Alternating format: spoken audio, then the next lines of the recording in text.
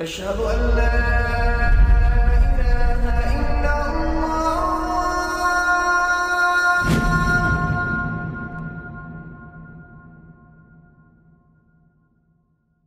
রমাদান উপলক্ষে রেইনড্রপসের বিশেষ lecture series চেনা অচেনা চেনা এই সিরিজে আলোচনা করা হবে আল্লাহ সুবহানহুয়াতা আলার সুন্দর সব নাম আল আসমা উল হুসনা নিয়ে আলহামদুলিল্লাহ ওসলাত ওয়াসালাম আলা সঈদিনা মোহাম্মদ ও আলা আলহি ওয়াসহবিহি ওয়াসাল্লাম তসলিমান কাসিরা তিনি পবিত্র নেই তার কোনো খুঁত তিনি মহামহিম তুলনাবিহীন আসমান জমিনের সমস্ত কিছু তারই পবিত্রতা ঘোষণা করছে তিনি মহান মালিক, যিনি আল কুদ্দুস আল্লাহ লা ইলাহা ইল্লাহু আল মালিকুল কুদ্দুস।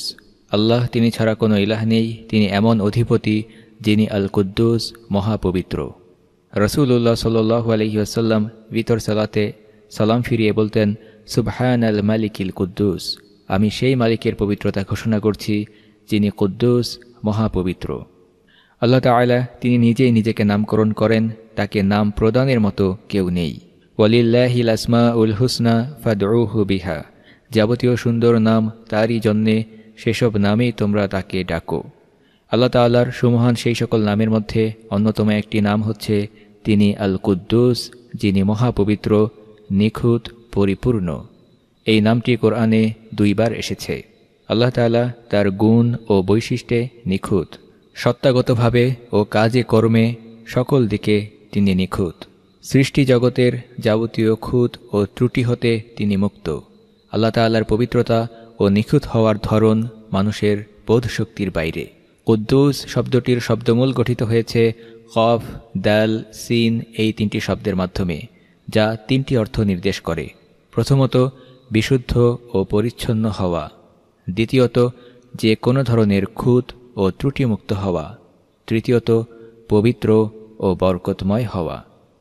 এই শব্দমূলটি কোরআনে পাঁচটি বিভিন্ন রূপে মোট দশ বার এসেছে। যেমন কোথাও এসেছে, রুহুল কুদস বা ফেরেস্তা জিব্রাইল আলহিসাল্লাম কোথাও এসেছে, ওয়াদিল মুকাদ্দাস বা পবিত্র উপত্যকা। মুসা আলহিসাল্লামকে লক্ষ্য করে আল্লাহ তালা বলেছিলেন ইন্না কাবি ওয়াদিল মুকাদ্দাসি তুয়া। তুমি এখন পবিত্র তুয়া উপত্যকায় রয়েছ। আবার কোথাও এসেছে, আরদল মুকাদ্দাস বা পবিত্র ভূমি। অর্থাৎ ফিলিস্তিন তথা স্বামীর সেই ভূমিকে বোঝানোর জন্য আল্লাহ তালা আরদল মুকাদ্দাস বা পবিত্র ভূমি এই শব্দ ব্যবহার করেছেন। শামের ভূমিকে পবিত্র ভূমি বলার কারণ হলো সেখানে আল্লাহ তালা যুগে যুগে অসংখ্য নবিরাসুল প্রেরণ করেছেন এবং শামের কেন্দ্রস্থল হল ফিলিস্তিন, যা বর্তমানে ইসরায়েল দখল করে রেখেছে। যুগে যুগে আল্লাহ তালা মুসলিমদের জন্যেই পবিত্র ভূমি ফিলিস্তিনকে নির্দিষ্ট করেছিলেন। মৌসা আলাহিসাল্লামের সম্প্রদায়ের জন্যেও পবিত্র ভূমিকে নির্ধারণ করা হয়েছিল। মৌসা আলহিসাল্লাম আল্লাহ তাল্লার ওয়াদা অনুসারে তার জাতিকে লক্ষ্য করে বলেছিলেন, ইয়া কৌমি উদখুলুল আরদল মুকাদ্দাস। হে আমার সম্প্রদায়, তোমরা পবিত্র ভূমিতে প্রবেশ করো। সেই আরদল মুকাদ্দাস বা পবিত্র ভূমি ফিলিস্তিনেই রয়েছে। মুসলিমদের প্রথম কেবলা আল আকসা, আল কুদস, যা বাইতুল মাকদিস নামেও পরিচিত। আল্লাহ তাল্লার কাছে আমরা দোয়া করি, তিনি যেন সেই ভূমিকে মুক্ত করার তৌফিক আমাদেরকে দান করেন। ভাষাগত দিকে, কুদ্দুস শব্দটি কুদস বা পবিত্রতার আধিক্য বা চূড়ান্ত পর্যায় নির্দেশ করে।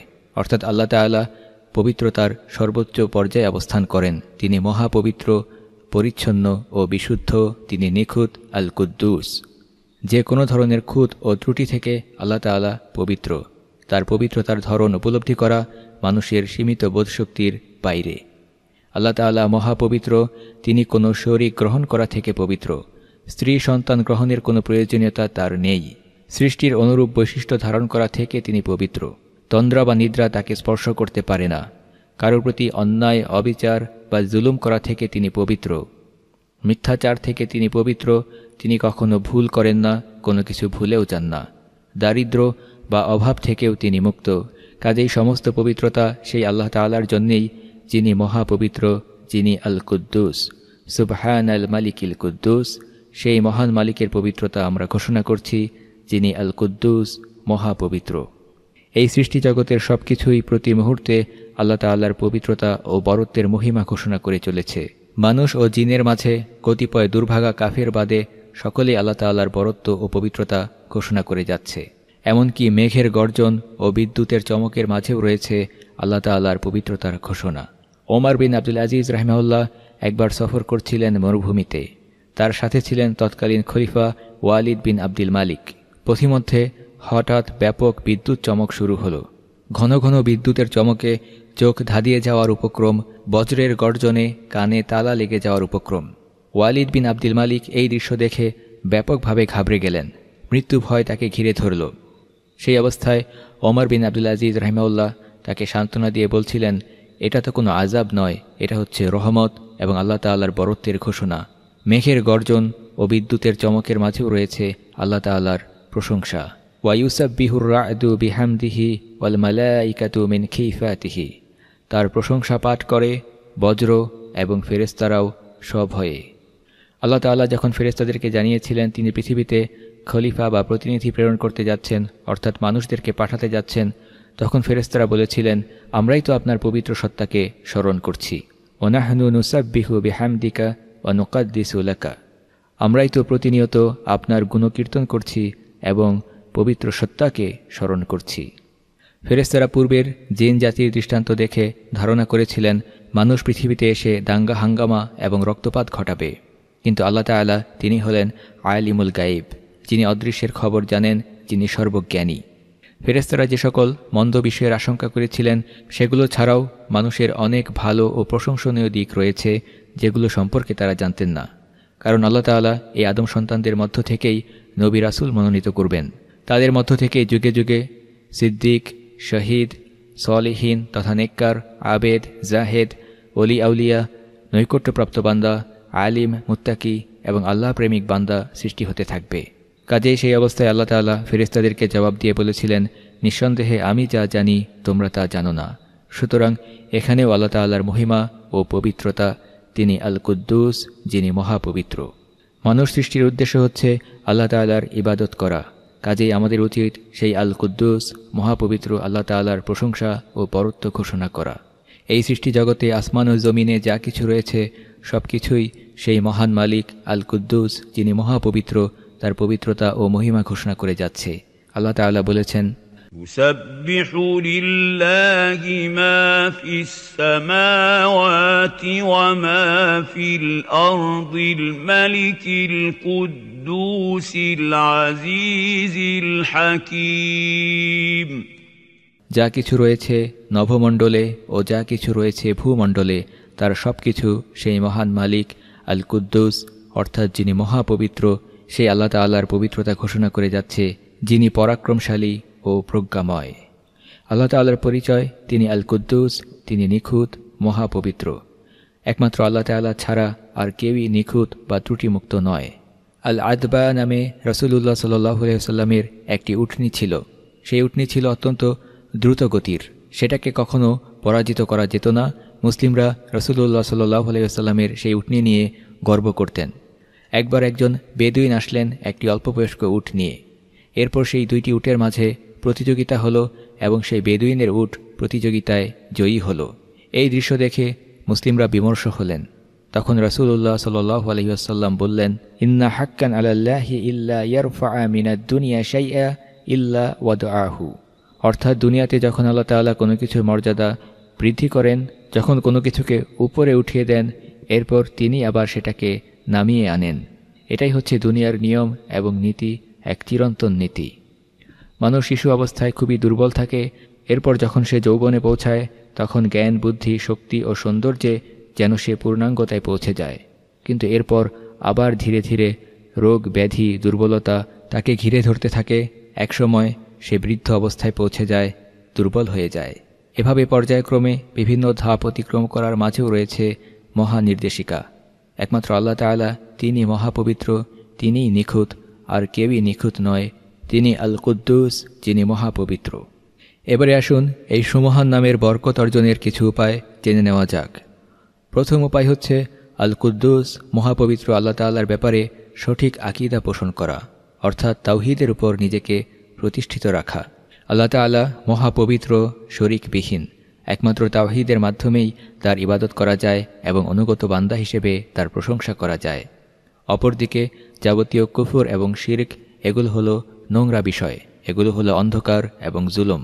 মহাপবিত্র আল্লাহ তাল্লার পরত্ব ও প্রশংসা ঘোষণার জন্যে শির্ক ও কুফর বর্জন করে তাওহীদের উপর নিজেকে প্রতিষ্ঠিত করা অপরিহার্য বিষয়। এই মহান নামের বরকত অর্জনের আরেকটি উপায় হচ্ছে আল কুদ্দুস মহাপবিত্র আল্লাহ তাল্লার প্রশংসা করা।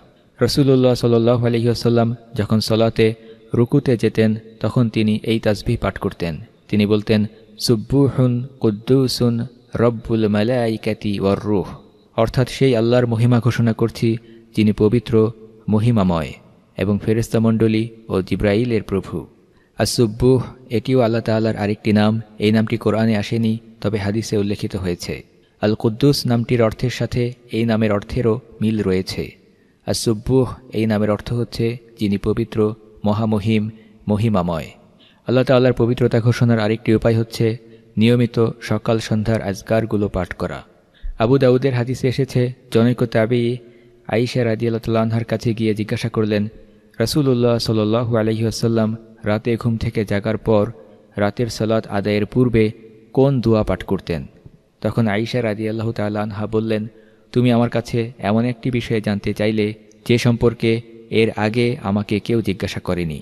এরপর তিনি বললেন, তিনি যখন রাতে ঘুম থেকে জাগতেন, তখন আল্লাহ তাল্লাহর বরত্ব ঘোষণা করতেন এবং দশ বার করে আল্লাহু আকবর, আলহামদুলিল্লাহ এবং সুবহান আল্লাহ আবিহামদি এভাবে পাঠ করতেন। এবং এরপর তিনি বলতেন সুবহান আল মালিকিল কুদ্দুস। অর্থাৎ মহাপবিত্র অধিপতি আল্লাহ তাল্লাহর মহিমা ঘোষণা করছি। এরপর তিনি দশবার আস্তাগফিরুল্লাহ এবং দশবার লা ইলাহা ইল্লাল্লাহ এভাবে পড়তেন। এরপর তিনি দোয়া করতেন, আল্লাহুম্মা ইন্নি আউ আউদুবিকা মিন দিকি দুনিয়া ওয়া দিকি ইয়ৌমিল কিয়ামা। অর্থাৎ, ইয়া আল্লাহ, আমি আপনার কাছে দুনিয়া ও কিয়ামতের দিনের সংকীর্ণতা থেকে আশ্রয় চাই। এরপর তিনি সলাত আদায় করতেন আল কুদ্দুস মহাপবিত্র আল্লাহ তাল্লাহর পবিত্রতা ঘোষণার আরেকটি উপায় হচ্ছে সলাতের মাধ্যমে নিজেকে গুনাহ থেকে পবিত্র করা আল্লাহ তাল্লাহ বলেছেন ইন্না সলাত তানহা আনিল ফাহশা ই ওয়াল মুনকার إن الصلاة تنهى عن الفحشاء والمنكر নিশ্চয়ই সলাৎ অন্যায় ও অশ্লীল কাজ থেকে বিরত রাখে সলাতের মাধ্যমে নিজেদেরকে পবিত্র রাখার পাশাপাশি সম্পদের ক্ষেত্রেও নিজেকে পবিত্র রাখা জরুরি আর এর জন্য জাকাত আদায় করতে হবে দান সাদাকা প্রদান করতে হবে আল্লাহ তাআলা বলেছেন خذ من أموالهم صدقة تطهرهم وتزكيهم بها হে নবী আপনি তাদের সম্পদ থেকে তাদের মালামাল থেকে জাকাত গ্রহণ করুন যেন আপনি সেগুলোকে পবিত্র করতে পারেন এবং সেগুলোকে বরকতময় করতে পারেন। আল্লাহ তাআলা তিনি আল কুদ্দুস তিনি মহাপবিত্র, তিনি নিখুঁত, পরিচ্ছন্ন ও বিশুদ্ধ, তিনি বরকতময়।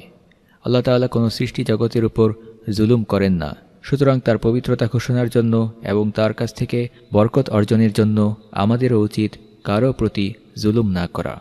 আল কুদ্দুস মহাপবিত্র আল্লাহ তাআলা, তার নামের বরকত অর্জনের আরেকটি উপায় হচ্ছে পাক পবিত্র থাকা, পরিষ্কার, পরিচ্ছন্ন থাকা। অজু করার মাধ্যমে আমরা নিজেদেরকে পবিত্র রাখতে পারি। অজু করার সময় আমাদের উচিত হবে ধীরে সুস্থে মনোযোগের সাথে নিজেদেরকে পবিত্র করা, তাড়াহুড়ো না করা। আল কুদ্দুস এই নামের অর্থ, যিনি মহাপবিত্র, পরিচ্ছন্ন। সুতরাং আমাদেরও উচিত আমাদের পরিবেশকে পরিষ্কার এবং পরিচ্ছন্ন রাখা। যেখানে সেখানে ময়লা আবর্জনা না ফেলা এবং প্রতিবেশীর কোনো কষ্টের কারণ না হওয়া। বাহ্যিক পবিত্রতা অর্জনের পাশাপাশি আভ্যন্তরীণ ও আধ্যাত্মিক পবিত্রতা অর্জন করাও জরুরি। আর এর জন্য হালাল উপার্জন ও হালাল খাদ্য গ্রহণের কোনো বিকল্প নেই। রসুল্লাহ সাল্লাহ আলহিহাসাল্লাম বলেছেন, ইন্নাল্লাহ তালা তৈয়িবন লা ইয়াকবালু ইল্লা তৈয়িবা নিশ্চয়ই আল্লাহ তাআলা পবিত্র, তিনি পবিত্র ছাড়া কোনো কিছুই গ্রহণ করেন না। আর তৈয়েব এটিও আল্লাহ তাল্লাহর সুমহান নামসমূহের মধ্যে একটি। এই নামটি কোরআনে উল্লেখিত হয়নি তবে হাদিসে উল্লেখিত হয়েছে আর তৈয়েব এই নামের অর্থ যিনি পবিত্র, পরিচ্ছন্ন, উত্তম এবং সুন্দর। রসুল্লাহ সাল্লাহ আলহিহাল্লাম বলেছেন, আল্লাহ তাআলা মুমিনদেরকে সেই কাজের নির্দেশ দিয়েছেন, যার নির্দেশ তিনি দিয়েছেন রাসুলদেরকে। আল্লাহ তাআলা বলেছেন, হে রাসুলগণ, তোমরা পবিত্র বস্তু হতে আহার গ্রহণ করো এবং সৎ আমল করো। এরপর তিনি এই আয়াতটিও তিলাওয়াত করেন, যেখানে আল্লাহ তাআলা বলেছেন يا أيها الذين آمنوا كلوا من طيبات ما رزقناكم واشكروا لله إن كنتم إياه تعبدون হে ইমানদারগণ আমি তোমাদেরকে যে রিজিক দিয়েছি তা থেকে পবিত্র বস্তু অর্থাৎ হালাল খাদ্য গ্রহণ করো এরপর রসুল্লাহ সাল্লাহ আলহিহাসাল্লাম সেই ব্যক্তির কথা উল্লেখ করলেন যে ব্যক্তি এলোমেলো উস্কো খুস্কো চুল নিয়ে ধুলোমলিন পায়ে সুদীর্ঘ সফরে থাকা অবস্থায়, অর্থাৎ মুসাফির থাকা অবস্থায়, আসমানের দিকে দুই হাত তুলে দোয়া করতে থাকে এবং বলতে থাকে, ইয়া রব ইয়া রব। অথচ তার খাদ্য হারাম, তার পানীয় হারাম, তার পোশাক পরিচ্ছদ হারাম এবং হারাম বস্তু দিয়েই তার শরীর পরিপুষ্ট হয়েছে। ফান্না ইউস্তাজাবু লিদালিকা। কাজেই তার দোয়া কীভাবে কবুল হতে পারে? সুতরাং আল কুদ্দুস মহাপবিত্র আল্লাহ তাল্লার পবিত্রতা ঘোষণা এবং তার ইবাদত করার জন্য হালাল খাদ্য ও হালাল উপার্জন করা জরুরি।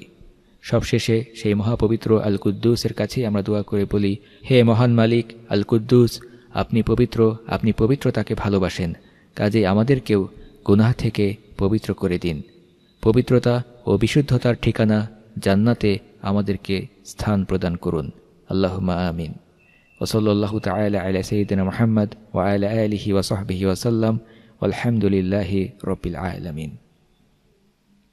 রেইনড্রপস মিডিয়ার অন্যান্য প্রজেক্ট সম্পর্কে জানতে ভিজিট করুন www.raindropsmedia.org অথবা ফেসবুক পেজ www.facebook.com/raindropsmedia অথবা ইউটিউব চ্যানেল www.youtube.com/raindropsmediaorg2015